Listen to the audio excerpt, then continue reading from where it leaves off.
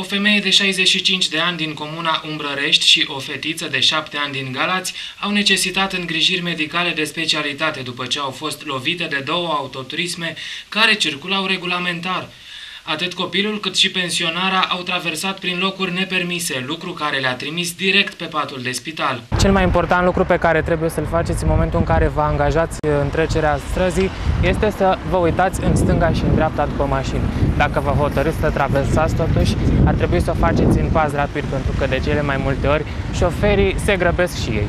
Anul trecut, România a fost fruntașă în topul țărilor din Uniunea Europeană cu cel mai mare număr de decese cauzate de accidentele rutiere. Pe lângă faptul că vă puneți viața în pericol, traversarea neregulamentară a străzii vă poate aduce și o amendă usturătoare, cu valori cuprinse între 150 și 250 de lei.